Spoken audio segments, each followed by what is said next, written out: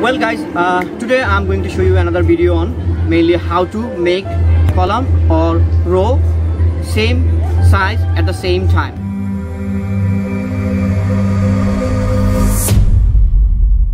This is called column. Okay so i have one two three four five six seven column over here. And this is called row. Okay so now I will show how to make this all column same size and bigger at the same time as well as the rows.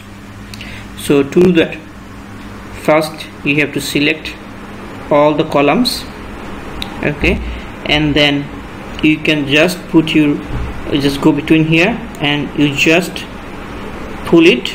So as long size as you want you select that and you just leave it. You will see the rest of the column will be the same as well. Okay.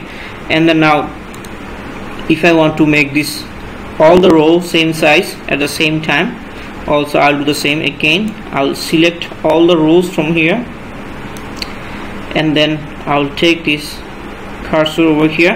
And then again I'll put a little bit I mean I just go here hold it and just pull it. I mean the it, it depends how long I want to make the rows. So if I want to make this much I leave it. See now all the rows are same size as well. So that's how easy it is to make all the rows and columns same size at the same time. Thank you very much for watching. If you have any other comments or suggestion please do so.